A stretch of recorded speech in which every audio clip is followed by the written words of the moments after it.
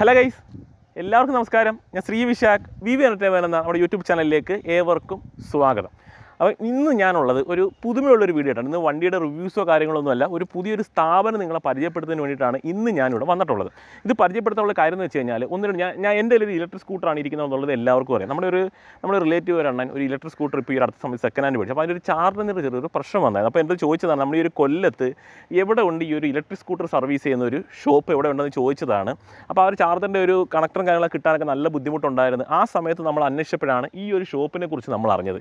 ഇതിന്റെ ഒരു വരുന്നത് വിക്ട്രോണിക്സ് എന്നാണ്. വിപ്രോണിക്സ് എന്നാണ് ഇത് പറയുന്നത്. അതായത് ഇവിടുത്തെ നമ്മുടെ ഓണറിന്റെ പേര് വിപൻ എന്നാണ്. പിന്നെ ഇലക്ട്രോണിക്സ് അത് ചേർത്തിട്ടാണ് ആ ഒരു വിപ്രോണിക്സ് എന്നൊരു പേര് പുള്ളി ഇട്ടേക്കുന്നത്. അപ്പോൾ ഇതൊരു അത്യാവശ്യം വലിയൊരു ഗ്യാരേജ് ആണിത്. ഇവിടുത്തെ പ്രധാനപ്പെട്ട വർക്കുകൾ എന്ന് വെച്ചാൽ ഇലക്ട്രിക് വാഹനങ്ങളുടെ വർക്കുകളാണ് വരുന്നത്. അസംബ്ലിയൊക്കെ ചെയ്യുന്നുണ്ട്. പുള്ളിക്ക് ഒരു യൂട്യൂബ് ഉണ്ട്. അതിന്റെ ലിങ്ക് ഞാൻ കൊടുത്തേക്കാം. അതിനകത്ത് നിങ്ങൾ നോക്കിയാൽ മനസ്സിലാവും. ഒരു മാരുതി എണ്ണൂറൊക്കെ കൺവേർട്ട് ചെയ്ത് ഇലക്ട്രിക് വണ്ടിയിലേക്ക് ആക്കിയിട്ടുണ്ട്. പിന്നെ ഒരു ബൈക്ക് ഇതുപോലെ ചെയ്തിട്ടുണ്ട്. ഇലക്ട്രിക്കിലേക്ക് ആക്കിയിട്ടുണ്ട്. ഒരു സൈക്കിൾ എന്തോ ഇലക്ട്രിക്കിലേക്ക് കൺവേർട്ട് ചെയ്യുന്ന ഒരു വീഡിയോ ഞാൻ കണ്ടു. അങ്ങനെ കുറച്ച് വീഡിയോസും ഞാൻ കണ്ടു. ശ്രദ്ധിച്ചു. അങ്ങനെയാണ് ഞാൻ ഈ ഒരു സ്ഥലം തപ്പിപ്പിടിച്ച് ഇവിടേക്ക് വന്നത്. അപ്പോൾ എന്റെ സ്കൂട്ടറിന് ചെറിയൊരു പ്രശ്നം ഉണ്ടായിരുന്നു. അപ്പോൾ അതും നമ്മളിവിടെ കൊടുത്തത് ശരിയാക്കിയിട്ടുണ്ട്. ഒരുപാട് സ്ഥലത്ത് അന്വേഷിച്ചിട്ട് അതിന്റെ സ്പെയർ നമുക്ക് കിട്ടിയിട്ടില്ല. പക്ഷേ ഇവിടുന്ന് എനിക്ക് അതിനൊരു സ്പെയർ കിട്ടി. ഷോറൂമിലൊക്കെ പറഞ്ഞതിനെക്കാട്ടി ഒരുപാട് റേറ്റ് കുറച്ച്. അതിന്റെ പകുതി വിലയിൽ എനിക്ക് ആ ഒരു സ്പെയർ ഇവിടുന്ന് മാറ്റാനായിട്ട് പറ്റി. സ്കൂട്ടറുകൾ ചെയ്യുന്നുണ്ട് ത്രീ വീലർ ചെയ്യുന്നുണ്ട് ഫോർ വീലർ ചെയ്യുന്നുണ്ട്. ഇലക്ട്രിക് ആയിട്ട് ഇലക്ട്രിക് വണ്ടികളിലുള്ള എല്ലാ എന്ത് പ്രശ്നങ്ങളാണെങ്കിലും നമുക്കിവിടെ കൊണ്ടുവന്നാൽ പുള്ളി അടിപൊളിയായിട്ട് അത് റെഡിയാക്കി തരുന്നതായിരിക്കും. ഒന്ന് രണ്ട് പേരുടെ സംസാരിക്കുകയും ചെയ്തതാണ്. ഇനി ലൊക്കേഷൻ പറഞ്ഞുതരാം. കൊല്ലമാണ് എന്റെ സ്ഥലം എന്നുള്ളത് എല്ലാവർക്കും അറിയാം. നിങ്ങൾ കൊല്ലത്ത് വരിക. കൊല്ലത്ത് വന്നതിന് ശേഷം കൊല്ലത്ത് പോളയത്തോട് എന്ന് പറയുന്ന സ്ഥലം വരുന്നുണ്ട്. പോളയത്തോട് എന്നൊരു സ്ഥലം വരുന്നുണ്ട്.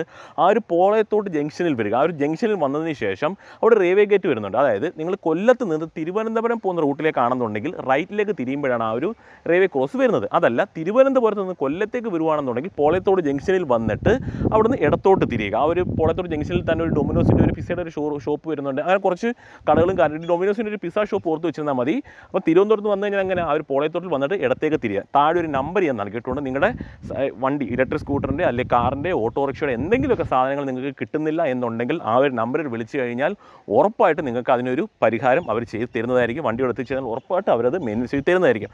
അപ്പം എനിക്കതൊരു ഉപകാരമുള്ള ഒരു കാര്യമായിട്ട് തോന്നിയതുകൊണ്ടാണ് ഇതൊരു വീഡിയോ ഇടുന്നത്. അപ്പം നിങ്ങൾ കണ്ടു നോക്കുക എന്തൊക്കെയാണ് ഇവിടെ ഉള്ളതെന്നുള്ളത് നമുക്ക് നോക്കാം. ഒന്ന് രണ്ട് വാഹനങ്ങളൊക്കെ പുള്ളി സ്വന്തമായിട്ട് ഇവിടെ മേക്ക് ചെയ്യുന്നുണ്ട്. അതൊക്കെ നമുക്കൊന്ന് കണ്ടു നോക്കാം. അപ്പം നേരെ അകത്തേക്ക് പോകാം അപ്പോൾ അതാണ്ടേ ഇതാണ് നമ്മുടെ ഗ്യാരേജ് വരുന്നത്. അപ്പോൾ നിങ്ങൾക്ക് അത്യാവശ്യം വലിയ രീതിയിൽ തന്നെ അത് ചെയ്തിട്ടുണ്ട്. ഇതൊരു കണ്ടെയ്നറാണ് ആണ്. ഒരു കണ്ടെയ്നർ എടുത്തതിന് ശേഷമാണ് ആ ഒരു ഓഫീസ് റൂമിലേക്ക് അവർ കൺവേർട്ട് ചെയ്തൊക്കെ എടുത്തിട്ടുള്ളത്. അതൊക്കെ നമുക്ക് ചോദിക്കാം. ഈ ഒരു റിയർ സൈഡിലായിട്ടാണ് ആ ഒരു സ്പെയറും കാര്യങ്ങളൊക്കെ സ്റ്റോർ ചെയ്തിട്ടുള്ളത്. അതുപോലെ തന്നെ ഈ ഒരു പോർഷനിൽ വെച്ചിട്ടാണ് ആ ഒരു മെയിന്റനൻസും കാര്യങ്ങളെല്ലാം അസംബ്ലിയും കാര്യങ്ങളെല്ലാം നമ്മൾ ചെയ്തുകൊണ്ടിരിക്കുന്നുണ്ട്. അവിടെ നിൽക്കുന്നത് നമുക്ക് കാണാം. നമ്മുടെ സുഹൃത്ത് വിപിനാണ് അവിടെ നിൽക്കുന്നത്. അപ്പോൾ വിപിനെ നമസ്കാരം. അപ്പം വിപിന്റെ കാര്യം ഞാൻ പറഞ്ഞു. വിപിൻ ഓൾറെഡി ഒരു ചാനൽ വരുന്നുണ്ട്. ആ ചാനൽ വഴിയാണ് ഞാൻ വിപിനെ പരിചയപ്പെടുന്നതും അങ്ങനെയാണ് ഞാൻ ഈ ഒരു ഷോപ്പിനെ കുറിച്ച് അറിഞ്ഞതും. അങ്ങനെ തന്നെ എന്റെ സ്കൂട്ടറാണ് നിങ്ങൾക്കറിയാം. ഈ ഒരു സ്കൂട്ടറാണ് ഞാൻ ഉപയോഗിച്ചുകൊണ്ടിരിക്കുന്നത്. ഇതിന്റെ ഒരു ആക്സിഡന്റിന്റെ ഒരു ചെറിയൊരു പ്രശ്നം വന്നത് ഇതിനകത്ത് ഈ ഒരു യൂണിറ്റ് കൂടെ വരുന്നത് കൊണ്ട് ഈ ഒരു സ്പെയർ കിട്ടാൻ നല്ല ബുദ്ധിമുട്ടായിരുന്നു. അപ്പോൾ ഷോറൂമിൽ തിരക്കിയ സമയത്ത് അത്യാവശ്യം നല്ല കോസ്റ്റും പറഞ്ഞു അപ്പോൾ ഇവിടെ വന്ന സമയത്ത് ആ ഷോറൂമിൽ പറഞ്ഞതിനെക്കാട്ടി പകുതി കോസ്റ്റിൽ എനിക്കത് വിപിൻ അത് ചെയ്തു തന്നു. അപ്പോൾ നിങ്ങൾക്ക് അവിടെ കാണാൻ കുറച്ച് സ്കൂട്ടറുകളും കാര്യങ്ങളും ഒക്കെ അവിടെ ഉണ്ട്. അത് എന്തൊക്കെയാണെന്ന് നമുക്ക് ചോദിക്കാം. അപ്പോൾ ഓരോരോ കാര്യങ്ങളിലേക്ക് നമുക്ക് വരാം. അപ്പോൾ വിപിനെ നമസ്കാരം. വീഡിയോയിലേക്ക് സ്വാഗതം. അപ്പോൾ വിപിനെ കുറിച്ച് ഒന്ന് പറഞ്ഞുതരാം. ആദ്യം തന്നെ പരിചയപ്പെടുത്തേരെ എന്റെ പേര് വിപിനെന്നാണ് ഞാൻ ഈ ഇലക്ട്രിക് വണ്ടിയുടെ ഫീൽഡിലോട്ട് വന്നിട്ട് ഏകദേശം ഒരു ആറ് വർഷത്തോളം ആവുന്നു. ഇപ്പോൾ ഷോപ്പായിട്ട് സ്റ്റാർട്ട് ചെയ്തത് മൂന്ന് വർഷം ആവുന്നു ഇത് ചെയ്തിരിക്കുന്ന പറഞ്ഞ് ഇലക്ട്രിക്കൽ വാഹനങ്ങളുടെ സർവീസും സ്പെയർ പാർട്സും ആയിട്ടാണ്. അത് ഇന്ന ബ്രാൻഡൊന്നുമില്ല എല്ലാ ബ്രാൻഡിനും നമ്മൾ ചെയ്യുന്നുണ്ട്. അത് ടൂ വീലർ ഉണ്ട് ത്രീ വീലർ ഉണ്ട് ഫോർ വീലർ ഉണ്ട്. അതിനൊക്കെ ഇലക്ട്രിക് ബോട്ടുണ്ട് അതിന് അത്യാവശ്യം ഇലക്ട്രിക്കൽ വാഹനമായിട്ട് ബന്ധപ്പെട്ട എ ടു സെഡ് വർക്ക് നമ്മളിവിടെ ചെയ്യുന്നുണ്ട്. സൈക്കിൾസ് ആയാലും എല്ലാം ചെയ്യുന്നുണ്ട്. എന്താണ് വിപിന്റെ ഈ ഒരു ആശയത്തിലേക്ക് വരാനുള്ള ഒരു കാരണം എന്താണ്? ശരിക്കും പറഞ്ഞാൽ എനിക്ക് ഏറ്റവും കൂടുതൽ ഇഷ്ടപ്പെട്ട ഫീൽഡ് വാഹന ഫീൽഡ് ഇഷ്ടപ്പെട്ട ഫീൽഡാണ് പിന്നെ ഞാൻ പഠിച്ചത് ഇലക്ട്രിക്കൽ ആൻഡ് ഇലക്ട്രോണിക്സ് ആണ്. അപ്പോൾ ഇത് രണ്ടും കൂടെ കമ്പൈൻ ചെയ്ത് വന്നപ്പോഴത്തേക്കിന് പൊതുവേ ഇതിന്റെ അകത്തോട്ട് ഞാൻ ഇറങ്ങി. അപ്പോൾ പണ്ട് തൊട്ടേ ഇതിലുണ്ടായിരുന്നു ഞാൻ പിന്നെ ഇലക്ട്രീഷ്യനായിട്ട് കേരളം ഈ പത്രത്തിൽ വർക്ക് ചെയ്തുകൊണ്ടിരുന്നതാണ്. അപ്പോൾ അവിടെ നിന്ന് വലിയ ബെനിഫിറ്റ് ഇല്ലാത്ത കാരണമാണ് അത് സ്റ്റോപ്പ് ചെയ്തിട്ട് ബിസിനസ് എന്നുള്ള രീതിയിൽ സ്റ്റാർട്ട് ചെയ്യാനായിട്ട് വന്നത്. അപ്പം നിലവിൽ ആദ്യമേ ഒരു വണ്ടിയുടെ പ്രൊഡക്ഷൻ എന്നുള്ള രീതിയിലാണ് ഉദ്ദേശിച്ച് വന്നത്. അപ്പം രണ്ട് ഭാഗത്തു നിന്നുള്ള വലിയ സപ്പോർട്ടും കാര്യങ്ങളൊക്കെ ഇല്ലാത്തത് കൊണ്ട് നമ്മളത് അവിടെ സ്റ്റോപ്പ് ചെയ്ത് സർവീസ് സെക്ടറിലോട്ട് ഇറങ്ങി. കാരണം ഇറങ്ങിയപ്പോഴത്തേക്കിന് മനസ്സിലായി അതിനകത്ത് ഒരുപാട് ഇഷ്യൂസ് ഉണ്ട്. ഇപ്പോൾ സ്പെയർ പാർട്സിന്റെ ആണ് ഏറ്റവും കൂടുതൽ ഇഷ്യൂസ് അതിനൊക്കെ തന്നെ വാഹനങ്ങൾ പണിയാൻ അറിയാൻ ആൾക്കാരില്ല. അപ്പം അത് കാരണം എല്ലാ ആൾക്കാരും എടുത്ത വാഹനങ്ങൾ സ്ക്രാപ്പായിട്ട് കളയുന്ന രീതിയൊക്കെ ഉണ്ടായിരുന്നു. അപ്പോൾ പിന്നെ ആ രീതിയിൽ നമ്മൾ സ്റ്റാർട്ട് ചെയ്യാന്നുള്ള രീതി വന്ന് അങ്ങനെയാണ് സർവീസ് സെക്ടറായിട്ട് സ്റ്റാർട്ട് ചെയ്തത്. എന്റെ അറിവിൽ കേരളത്തിലെ ഫസ്റ്റ് പ്രൈവറ്റ് ഗ്യാരേജ് ആണ്. കേരളത്തിലെ നല്ല നമ്മുടെ ഇന്ത്യയിലെ തന്നെ ഫസ്റ്റ് പ്രൈവറ്റ് ഗ്യാരേജ് എന്ന് പറയാം. കാരണം വ്യവസായ വകുപ്പിന്റെ സൈറ്റിൽ നമ്മൾ രജിസ്റ്റർ ചെയ്തപ്പോൾ അങ്ങനെ ഒരു ഓപ്ഷൻ ഇല്ലായിരുന്നു. അപ്പോൾ നമുക്ക് വേണ്ടിയിട്ടാണ് അവരങ്ങനെ ഒരു ഓപ്ഷൻ ക്രിയേറ്റ് ചെയ്ത് നമുക്ക് അതിന്റെ ലോണൊക്കെ സാങ്ഷനാക്കി തന്നത്. അപ്പോൾ അത്യാവശ്യം നല്ല മുതൽ മുടക്കിലാണ് വിപിൻ ഈ ഒരു കാര്യം ചെയ്തേക്കുന്നതാണ്. ഇവിടെ അത്യാവശ്യം നല്ല സ്പെയറും അതായത് അത്യാവശ്യം നല്ല സൗകര്യങ്ങൾ വരുന്നുണ്ട്. അപ്പോൾ നിങ്ങളുടെ ഇലക്ട്രിക് വാഹനം ഏതാണെങ്കിലും വിപിന്റെ അടുത്ത് വന്നാൽ മതി. ഇവിടെ അത്യാവശ്യം സ്പെയറും കാര്യങ്ങളും സ്റ്റോർ ചെയ്ത് കാണാം. അപ്പം ഞാൻ അറിയുന്നത് പല ഷോറൂമുകളിലേക്കും ഇവിടുന്നാണ് സാധനങ്ങൾ എടുത്തുകൊണ്ട് പോകുന്നത് അല്ലേ? സാധനം ഷോറൂമുകളിൽ സാധനം കിട്ടുന്നില്ല. കമ്പനിയുടെ ഭാഗത്തു നിന്നും ബാക്കപ്പ് കിട്ടാതായപ്പോഴത്തേക്കിനും അവർ പുറത്ത് അന്വേഷിച്ചാണ് നമ്മുടെ അടുത്തോട്ട് വന്നത്. അപ്പം നമ്മൾ അവരെ വണ്ടിക്ക് സൂട്ടാവുന്ന രീതിയിലുള്ള സാധനം അറേഞ്ച് ചെയ്ത് കൊടുക്കും. സെയിം കിട്ടിയില്ലെന്നുണ്ടെങ്കിൽ അതിൽ സെറ്റാവുന്ന രീതിയിലുള്ള പുറത്ത് സോഴ്സ് ചെയ്യാൻ പറ്റുന്ന സാധനങ്ങൾ നമ്മൾ സോഴ്സ് ചെയ്ത് കൊടുക്കുന്നുണ്ട്. ഇനിയിപ്പോൾ എനിക്ക് അറിയേണ്ടത് വിപിൻ ഇവിടെ എന്തൊക്കെ വർക്കുകളാണ് മെയിനായിട്ട് കൂടുതൽ വരുന്ന വർക്ക് എന്താണ് വിപിനെ? ചെയ്യാനായിട്ട്. സെക്കൻഡ്സ് വണ്ടികളിൽ കൂടുതലും വരുന്ന ബാറ്ററിയുടെ ഡാമേജ് ആണ്. ചാർജർ അതിനൊക്കെ തന്നെ മോട്ടറിന്റെ സെൻസർ പോകുന്നത് അതിനൊക്കെ തന്നെ കൺട്രോളർ അപ്പം ഈ പല വാഹനങ്ങളുടെയും മോഡലുകൾ അവർ സ്റ്റോപ്പ് ചെയ്ത് പറഞ്ഞാൽ അതിന് സാധനങ്ങൾ കിട്ടാനില്ല. അപ്പോൾ പിന്നെ നമ്മൾ ചെയ്യുന്ന പറഞ്ഞാൽ ആ മോഡൽ കിട്ടിയില്ലെന്നുണ്ടെങ്കിൽ അതിന് സൂട്ടാവുന്ന രീതിയിലുള്ള വേറെ സാധനങ്ങൾ അതിൽ സെറ്റ് ചെയ്ത് കൊടുക്കുക എന്നുള്ളത്. അതായത് കൺട്രോളർ ആയാലും അങ്ങനെയാണ് നമ്മൾ ചെയ്ത് കൊടുക്കുന്നത്. ഇപ്പോൾ നമുക്ക് ഈ മോട്ടറിന്റെ ഒക്കെ മെയിന്റെനൻസും കാര്യങ്ങളെല്ലാം ഇവിടെ വരുന്നുണ്ട്. ചെയ്യുന്നുണ്ട്. എല്ലാം ചെയ്യുന്നുണ്ട്. നമ്മൾ സെൻസർ മാറുന്നതായാലും വൈൻഡിങ് പോയതായാലും വെള്ളം കയറിയതായാലും മാഗ്നറ്റിന്റെ പവർ ചെയ്യുന്നേ ഉണ്ട്. അത് പക്ഷേ അതിന്റെ എക്യുപ്മെന്റ് നമ്മൾ ഇതുവരെ എടുത്തിട്ടില്ല. അതുകൂടെ ആയിക്കഴിഞ്ഞാൽ മാറ്റിന്റെ പവർ ലോസ് വന്നാലും നമുക്ക് അത് ബൂസ്റ്റ് ചെയ്തെടുക്കാൻ പറ്റുന്ന രീതിയിലുള്ള സാധനങ്ങളെല്ലാം ഉണ്ട്. ബാറ്ററി മെയിൻസ് വരുന്നുണ്ടോ? എല്ലാം ചെയ്യുന്നുണ്ട്. ലിഥിയം ആൻഡ് ലിഥിയം ഫോസ്ഫേറ്റ് അത് കസ്റ്റമൈസേഷൻ ചെയ്യുന്നുണ്ട്. ഇപ്പോൾ പ്രോജക്റ്റ് വർക്ക് ചെയ്യുന്നവരായാലും അതിനൊക്കെ തന്നെ ലെഡ് ആസിഡ് വണ്ടി യൂസ് ചെയ്യുന്നവർക്ക് ലിഥിയത്തിലോട്ടോ ലിഥിയം ഫോസ്ഫിലോട്ടോ മാറണമെന്നുണ്ടെങ്കിൽ അവരുടെ ബഡ്ജറ്റിനനുസരിച്ച് അവരുടെ വണ്ടിയിലുള്ള സ്പേസ് അനുസരിച്ച് നമ്മൾ ബാറ്ററി സെറ്റ് ചെയ്ത് കൊടുക്കുന്നുണ്ട്. അപ്പം ഞാനൊരു പറഞ്ഞു വെച്ചാൽ ഇടയ്ക്ക് ഞാനൊരു വീഡിയോ കണ്ടു ഞാൻ പറഞ്ഞ ചാനലിന്റെ കാര്യം അപ്പോൾ വീമ്പിന്റെ ചാനൽ നിങ്ങൾ നോക്കിയാൽ മതി. അതിനകത്ത് കാണിച്ചിട്ടുണ്ട് ഒരു മാരുതി എണ്ണൂറ് വിനോദ് പ്രോജക്റ്റിന്റെ ഭാഗമായിട്ട് പെട്രോൾ വണ്ടി ഇലക്ട്രിക്കിലേക്ക് കൺവേർട്ട് ചെയ്തൊരു വീഡിയോ ഞാൻ കണ്ടിരുന്നു. അപ്പോൾ അതിനെന്തോ കോസ്റ്റ് വന്നിട്ടുണ്ട് ആ ഒരു വീഡിയോ ചെയ്യുന്നത് ഇപ്പോൾ പ്രോജക്റ്റ് പർപ്പസ് ആയതുകൊണ്ട് അവർക്ക് വലിയ ബഡ്ജറ്റ് ഒന്നും ഇല്ലായിരുന്നു. അതിപ്പോൾ നമ്മൾ ചെയ്ത് കൊടുത്ത ഏകദേശം ഒന്ന് മുപ്പത് രൂപ അടുപ്പിച്ചൊക്കെ ആയിട്ടുള്ളൂ. അതായത് ഫുൾ കിറ്റ് വർക്കെല്ലാം ചെയ്ത് കൊടുത്തു നമ്മൾ അപ്പോൾ ഞാനൊരു കാര്യം ചോദിച്ചിട്ട് കസ്റ്റമറുടെ ഒരു ഓൺ റിസ്കിൽ ഇപ്പോൾ ഒരു പഴയ ഒരു മാരുതി എണ്ണൂറുള്ള ഒരു കസ്റ്റമർ ഇവിടെ കൊണ്ടുവരുമോ ഇവനെ എന്റെ സ്വന്തം റിസ്കിൽ ഞാനത് ഉപയോഗിച്ചോളാം. എനിക്കത് കൺവേർട്ട് ചെയ്ത് തരാൻ പറ്റുമോ എന്ന് ചോദിച്ചാൽ വിവരം ചെയ്തു കൊടുക്കും. ചെയ്തു കൊടുക്കും. കസ്റ്റമറുടെ ആണെങ്കിൽ നമ്മൾ ചെയ്തു കൊടുക്കും. പിന്നെ എന്തൊക്കെയാണ് റിസ്ക് ഉള്ളത് നമ്മൾ ആദ്യം കസ്റ്റമർ അടുത്ത് പറയും. കാരണം ഇത് റോഡ് ലീഗലായിട്ട് യൂസ് ചെയ്യുമ്പോഴുള്ള ബുദ്ധിമുട്ട് ആർട്ടിയുടെ ഭാഗത്തു നിന്നുള്ള പെർമിഷനും കാര്യങ്ങളൊന്നും കിട്ടത്തില്ല. അങ്ങനെയുള്ള കാര്യങ്ങളൊക്കെ ഉണ്ട്. അതിൽ നമ്മൾ കസ്റ്റമർ അടുത്ത് പറഞ്ഞിട്ട് അവർ വില്ലിങ് ആണെങ്കിൽ മാത്രം നമ്മൾ ചെയ്തു കൊടുക്കും. അതിന് ഒരു നോർമലി ഒരു മാരുതി ഉണ്ടൊക്കെ ചെയ്യണം എത്ര കോസ്റ്റ് ഈ ഒരു പറഞ്ഞ ഒന്നര ആ റേഞ്ച് നമുക്ക് ചെറിയ രീതിയിൽ ഒരു ഷോ പർപ്പസ് രീതിയിൽ ചെയ്യുകയാണെങ്കിൽ ഒന്നര ലക്ഷം രൂപയ്ക്കകത്ത് വെച്ച് നമുക്ക് ബാറ്ററിയും കൺവെർഷനും എല്ലാം ചെയ്ത് ഫുൾ വർക്കായിട്ട് സെറ്റ് ചെയ്യാം. അല്ലാതെ അത്യാവശ്യം നല്ല റേഞ്ചിൽ ഒറ്റ ചാർജിൽ ഈ പറഞ്ഞ കണക്ക് നമ്മുടെ മഹേന്ദ്ര ട്രിയോ ഒക്കെ ഓടുന്ന രീതിയിൽ അതിനൊക്കെ തന്നെ മഹേന്ദ്രയുടെ ഇ ടു പ്ലസ് ഒക്കെ ഉണ്ട്.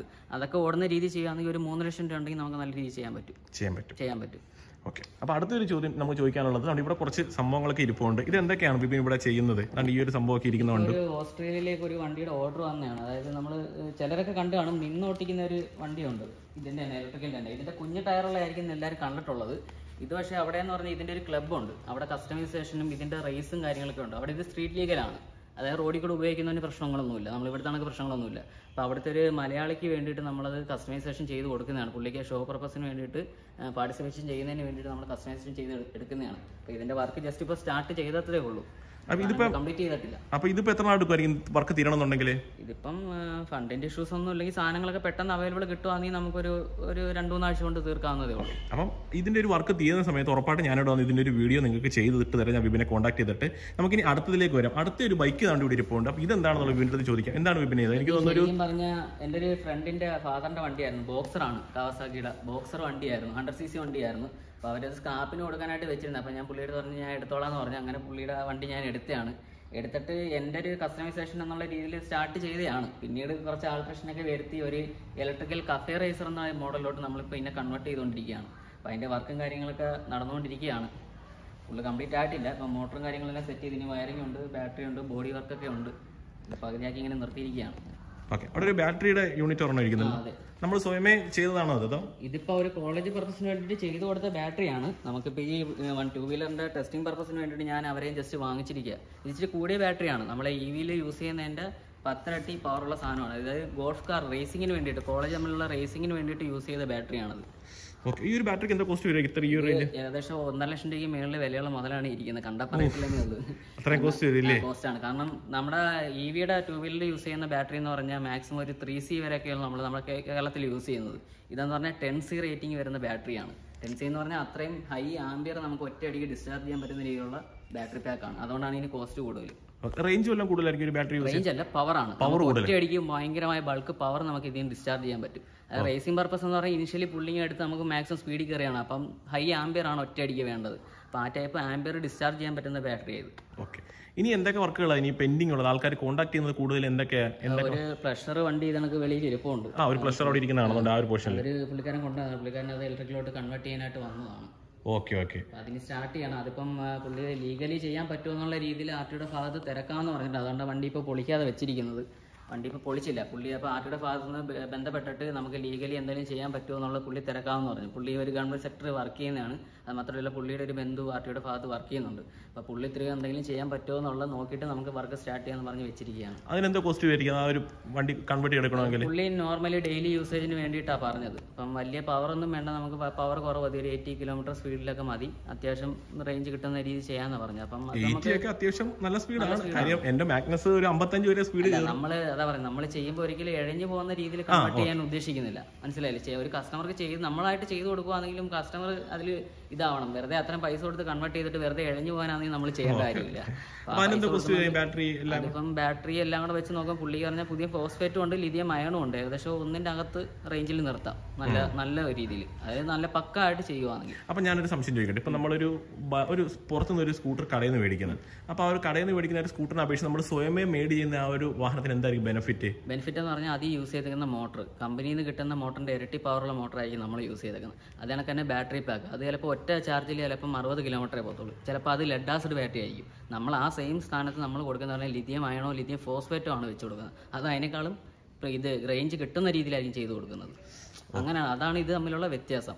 അതെന്ന് പറഞ്ഞാൽ വൺ ഇയർ വാറണ്ടി ഒക്കെ ഉണ്ട്. എല്ലാവരും നോക്കുമ്പോൾ അത് ഇച്ചിരി നല്ലതായിരിക്കും പുതിയതായിരിക്കും. പക്ഷേ ഇതിന്റെ എന്ന് പറഞ്ഞാൽ അതിന്റെ ബോഡി ആയാലും ഇതിപ്പം പ്ലഷറിന്റെ വരുന്ന പറഞ്ഞാൽ സ്ട്രോങ് ബോഡിയാണ് നമ്മുടെ ചൈനീസ് വണ്ടിയുടെ കണക്കല്ല അപ്പോൾ ആ ബോഡി നമുക്ക് നല്ല രീതിയിൽ യൂസ് ചെയ്യാൻ പറ്റും. അപ്പം ചെയ്യുന്ന സാധനം നല്ല സ്ട്രോങ് ആയിട്ട് ആയിരിക്കും. അതായിരിക്കും ആ കോസ്റ്റ് നിർത്തി ചെയ്യുമ്പോൾ ഉള്ള ഗുണം. അപ്പൊ ഇവിടെ ഒരുപാട് സ്പെയറും കാര്യങ്ങളൊക്കെ വിവിനോട് സൂക്ഷിച്ചിട്ടുള്ളത് കാണാം നമ്മൾ ജസ്റ്റ് ഒന്ന് ചോദിക്കാം എന്തൊക്കെയാ ഈ ഒരു ഇവിടെ ഏരിയയിൽ നമ്മൾ മെയിൻ ആയിട്ട് എന്തൊക്കെ സപ്ലൈസ് ഉള്ളത് നമുക്കിവിടെ? നമുക്ക് ബോഡി പാർട്സ് ആയിട്ട് വന്ന് തുടങ്ങിയിട്ടുണ്ട്. പിന്നെ സൈഡ് കവർ ഉണ്ട്. സസ്പെൻഷൻ ഒക്കെ നല്ല രീതിയിൽ പോകാനാണ് കാരണം ചൈനീസ് നിന്ന് വരുന്ന മിക്ക വാഹനങ്ങളിൽ സസ്പെൻഷൻ പെട്ടെന്ന് പോകുന്നുണ്ട് കാരണം അതിന്റെ മെറ്റീരിയലിന്റെ ലോ ക്വാളിറ്റി ഉണ്ടാണ് പെട്ടെന്ന് തുരുമ്പ് കയറും. നമ്മളിവിടുത്തെ കണ്ടീഷൻ അനുസരിച്ച് മഴ പെയ്ത് ചെളി കയറി കഴിഞ്ഞാൽ അന്നേരം തുരുമ്പ് പിടിക്കും. തുരുമ്പ് കഴിഞ്ഞാൽ സസ്പെൻഷന്റെ സീൽ ഉരഞ്ഞിട്ട് അതിന്റെ ഓയിലെല്ലാം വെളിയിൽ പോയി സസ്പെൻഷൻ പെട്ടെന്ന് ഡാമേജ് ആവും. അപ്പോൾ സസ്പെൻഷൻ ഒക്കെ നല്ല രീതിയിൽ പോകുന്നതാണ്. പിന്നെ ഈ കാണുന്നതൊക്കെ ഡി സി കോഡ് വേറെ ഇതൊക്കെ ഈ പറഞ്ഞ നമുക്ക് മോഡിഫിക്കേഷനും പുതിയ വണ്ടിയൊക്കെ മേക്ക് ചെയ്യുന്ന സമയത്ത് നമുക്ക് ആവശ്യം വരുന്ന സാധനമാണ്. കാരണം നിലവിലുള്ള മിക്ക ബ്രാൻഡുകളും വീട്ടിൽ വയർ ചെയ്യുന്ന വയറൊക്കെ വെച്ചിട്ടാണ് വണ്ടിക്കകത്ത് കൊടുക്കുന്നത്. ശരിക്കും പറഞ്ഞാൽ നമ്മുടെ വണ്ടിയിൽ യൂസ് ചെയ്യുന്ന ഡി സി സിസ്റ്റമാണ് അപ്പോൾ അതിന് യൂസ് ചെയ്യുന്ന പ്രോപ്പർ ആയിട്ടുള്ള വയർ നമ്മൾ അതിൽ യൂസ് ചെയ്ത് കഴിഞ്ഞാൽ വണ്ടിക്ക് ഒരു പ്രശ്നവും വരത്തില്ല. നമ്മൾ ഈ വീട്ടിലൊക്കെ യൂസ് ചെയ്യുന്ന വയർ വാങ്ങിച്ച് ഉപയോഗിക്കുമ്പോഴാണ് എന്തെങ്കിലും ഷോർട്ട് സർക്യൂട്ട് വരുമ്പോൾ അതിന് ഇൻസ്റ്റലേഷനൊക്കെ പെട്ടെന്ന് കത്തി പോകുന്നത്. ഇതൊക്കെ എന്ന് പറഞ്ഞാൽ ആയിരം ഡിഗ്രി ടെമ്പറേച്ചർ താങ്ങാൻ പറ്റുന്നത് പെട്ടെന്ന് തീ പിടിക്കത്തില്ല. അതാണ് ഈ ഡി സി കോഡ് വയറിന്റെ പ്രത്യേകത. ഇത് ചാർജറിന്റെ കേബിളാണ് അല്ലേ? ആ ഈ കാണുന്നൊക്കെ ഓരോ ചാർജറിന്റെ കേബിളാണ് ഇത് ലെഡ് ആസിഡ് ചാർജർ വരുന്നുണ്ട്. അതിനൊക്കെ തന്നെ ലിഥിയം അയണായാലും ലിഥിയം ഫോസ്ഫേറ്റ് ആകുമ്പോഴത്തേക്കും ഗേജിലൊക്കെ വ്യത്യാസം വരും. ആംബിയർ കൂടുതൽ മേളോട്ട് വരുന്നതനുസരിച്ച് ഈ ചാർജറിന്റെ കോഡിന്റെ കേബിളിൽ ഗേജ് കൂടിക്കൊണ്ടിരിക്കും. ഇപ്പം വൺ പോയിന്റ് ഫൈവ് ഉണ്ട് ടു ഉണ്ട് അങ്ങനെ മാറിക്കൊണ്ടിരിക്കും. ആ ഒരു പൊസിഷനിൽ എന്തൊക്കെയാണ് സ്റ്റോർ ചെയ്തേക്കുന്നത് ഇവിടെ ആയിട്ട്? ഇതിന്റെ അകത്ത് നമുക്ക് D C to D C converter ഉണ്ട്. അതായത് വണ്ടിയുടെ ട്വൽവ് വോൾട്ട് സിസ്റ്റം എല്ലാം വർക്ക് ചെയ്യുന്ന D C to D C കൺവെർട്ടറിന്റെ അകത്താണ്. കൺവെർട്ടർ പല ടൈപ്പ് കൺവെർട്ടറുകൾ നമ്മളെ ഉണ്ട്. ഇത് ജംഗ്ഷൻ ബോക്സ് ആണ് കൺട്രോളറിന്റെ വയർ ഔട്ടൊക്കെ കണക്ട് ചെയ്യുന്ന. ഇതിന്റെ മെയിൻ ലൈനൊക്കെ കണക്ട് ചെയ്യുന്ന ജംഗ്ഷൻ ബോക്സ് ആണ്. ഇത് സൈഡ് സ്റ്റാൻഡ് സെൻസർ ഉണ്ട്. അത് കണക്ക് തന്നെ ബ്രേക്കിന്റെ സെൻസർ ഉണ്ട്. ബ്രേക്കിന്റെ സെൻസർ തന്നെ പല മോഡലുകളുണ്ട് ഇതെല്ലാം ഓരോ മോഡലുകൾ സെൻസറാണ് സ്ക്വയർ വരുന്നുണ്ട് റൗണ്ട് വരുന്നുണ്ട് ഇത് കണക്കുള്ള മോഡലുകൾ വരുന്നുണ്ട്. ഈ ഒരു മോഡൽ ഏതെങ്കിലും ആയിരിക്കും എല്ലാ വണ്ടിയിലും വരുന്നത്. ഇപ്പൊ ഡിസ്ക് വരുന്ന വണ്ടിയിലും കൂടുതലും കാണുന്നത് ഈ റൗണ്ട് ടൈപ്പ് ഈ സ്ക്വയർ ഒക്കെ ഡിസ്ക് വരുന്ന മോഡലിൽ വരുന്നതാണ്. പിന്നെ ഇത് നമ്മുടെ സ്മാർട്ട് കൺട്രോളിന്റെ വയറിങ് ഔട്ട് എടുക്കുന്നതാണ്. സ്മാർട്ട് കൺട്രോൾ ഇതായിരിക്കുന്നതാണ് സ്മാർട്ട് കൺട്രോൾ എന്ന് പറയുന്നത്. സ്മാർട്ട് കൺട്രോൾ എന്ന് പറയുമ്പോൾ ഈ ടൈപ്പ് സാധനമാണ്. വയർലെസ് കൺട്രോൾ എന്നൊക്കെ പറയും. ഇതിന്റെ ഔട്ട് വെളിയിലോട്ട് എടുക്കുന്ന കണക്ടറാണ് നമ്മൾ നേരത്തെ കണ്ടത്. പിന്നെ ഹെഡ്ലൈറ്റിന്റെ ഹോൾഡറുകൾ യു എസ് പി ചാർജറുകൾ മിക്ക വണ്ടിയിലും വെള്ളം കയറി ഡാമേജ് ആവുന്ന ഒരു ഐറ്റമാണ് യു എസ് പി ചാർജറുകൾ അതിനെ തന്നെ ലെദാശ്രീ ബാറ്ററിയുടെ കണക്ടർ വയറുകളുണ്ട്. അതിനെ തന്നെ സൈഡ് ലേഡീസ് ഫുഡ് റെസ്റ്റ് ഉണ്ട്. ഇപ്പൊ ചില കമ്പനിക്കാരെന്ന് പറഞ്ഞാൽ വണ്ടിയുടെ ചേസിൽ നിന്ന് വെൽഡ് ചെയ്ത് വെക്കും. പുറത്തുനിന്നുള്ള പെട്രോൾ വണ്ടിയുടെ വാങ്ങിച്ചിട്ട്. അത് കുറെ നാൾ കഴിയുമ്പോഴത്തേക്കിന് തുരുമ്പെടുത്ത് ആ ജോയിന്റ് പെട്ടെന്ന് പോകും അപ്പൊ ആരെങ്കിലും ചവിട്ടി കയറുമ്പോൾ പെട്ടെന്ന് ഒടിഞ്ഞു പോകും ഇതെന്ന് പറഞ്ഞാൽ നമുക്ക് ആ വണ്ടിയുടെ സസ്പെൻഷന്റെ ബോൾട്ടിൽ തന്നെ സെറ്റ് ചെയ്യാവുന്ന സാധനം. ഒന്നും ആൾട്രേഷൻ വർക്ക് ഒന്നും വേണ്ട. വെൽഡിങ്ങും ഒന്നും വേണ്ട. ഇതെന്ന് പറഞ്ഞാൽ നമ്മുടെ ഓലയില സൈഡ് ഫുഡ് റെസ്റ്റ് ആണ്.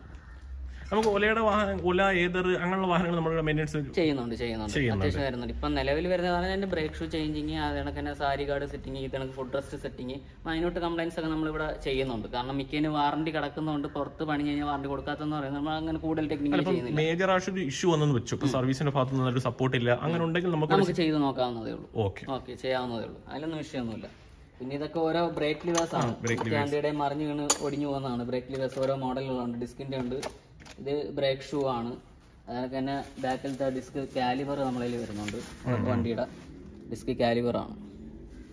ഒരുവിധം എല്ലാ സാധനങ്ങളും നമ്മളിവിടെ സ്റ്റോർ ചെയ്തിട്ടുണ്ട്. ഇതെല്ലാം ഓരോ മോഡൽ ഡിസ്ക് പാഡുകളാണ് ഇതാണ് ടി വി എസ് ഐ ക്യൂവിന്റെത് ഇത് ഏതറിന്റെ ആണ് ഇനിയുണ്ട്. ബാക്കിയുള്ളതൊക്കെ സ്റ്റോക്ക് ഔട്ട് ആയിട്ടിരിക്കുന്നത്. ഇതൊക്കെ ഓരോ മോഡൽ ഡിസ്ക് പാഡുകളായിരിക്കുന്നതൊക്കെ അതിനൊക്കെ തന്നെ മീറ്റർ ഡിസ്പ്ലേ വരുന്നുണ്ട്. ഇതൊക്കെ എൽ ഇ ഡി ഡിസ്പ്ലേ ആണ്. ഇത് മീറ്റർ മൊത്തത്തിൽ മാറേണ്ട കാര്യമില്ല. നമുക്ക് അകത്തുള്ള ഡിസ്പ്ലേ മാത്രമായിട്ട് മാറാം. ഇത് എൽ ഇ ഡി മോഡലാണ്. ഇതിന്റെ തന്നെ എൽ സി ഡി ടൈപ്പ് വരുന്നുണ്ട്. എൽ സി ഡി ടൈപ്പ് നമ്മളെ കുറഞ്ഞ നോൺ രജിസ്ട്രേഷൻ വണ്ടികൾ യൂസ് ചെയ്യാം ആ മീറ്റർ മൊത്തത്തിൽ മാറേണ്ട കാര്യമില്ല. അകത്ത് മാത്രമായിട്ട് മാറാം. സെറ്റോടെ കിട്ടത്തുള്ളൂ.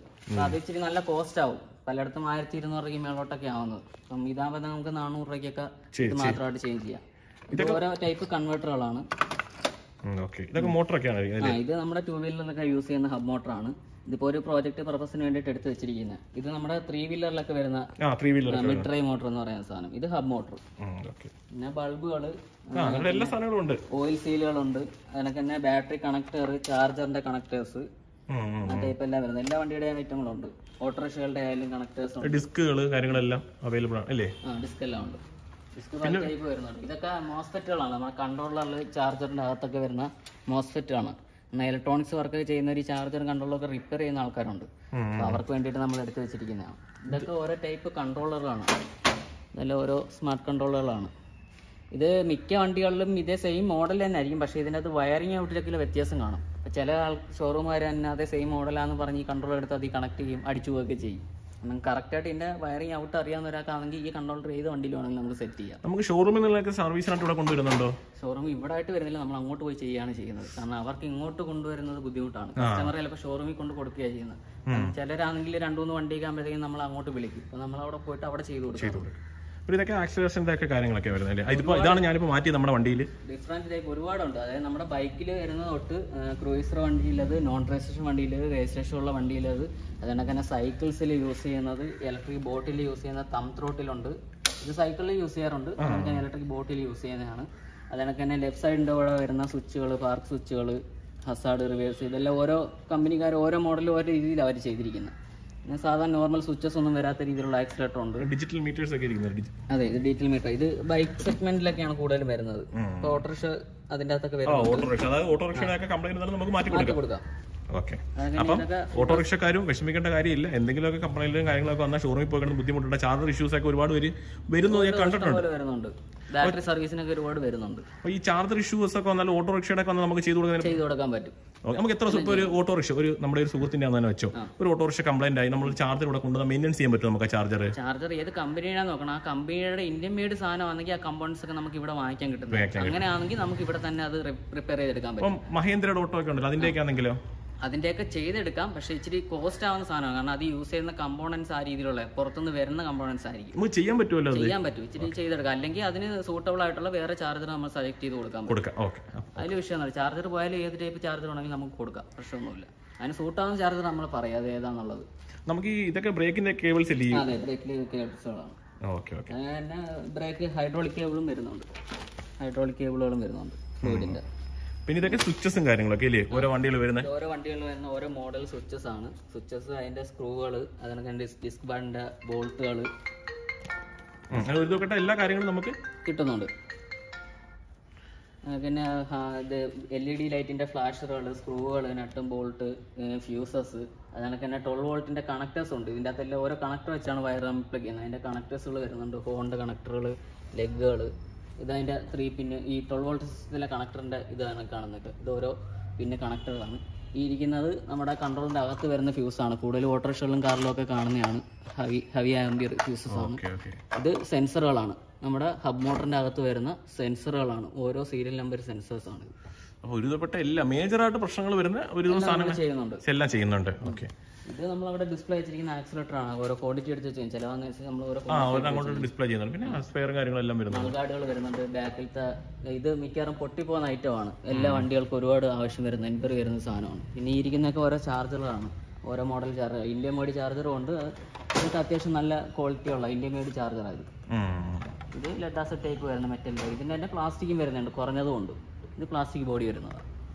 ഇവിടെ ഒരു ബൈക്ക് ഒരെണ്ണം ഇരിക്കുന്നല്ലോ അത് രാജ്യതൂത അത് പെട്രോൾ വണ്ടിയാണ്. പണ്ടത്തെ ഒരു വണ്ടിയാണ്. നമ്മുടെ ഫാദർ യൂസ് ചെയ്തിരുന്ന വണ്ടിയാണ്. അപ്പൊ അത് ടെസ്റ്റ് എല്ലാം കഴിഞ്ഞ് കൊണ്ടുവച്ചിരിക്കുകയാണ്. കണ്ടീഷൻ റണ്ണിങ് കണ്ടീഷൻ ടെസ്റ്റ് കഴിഞ്ഞു. ഇപ്പം ഒരു രണ്ടാഴ്ച ആവുന്നുള്ളൂ ടെസ്റ്റ് കഴിഞ്ഞിട്ട്.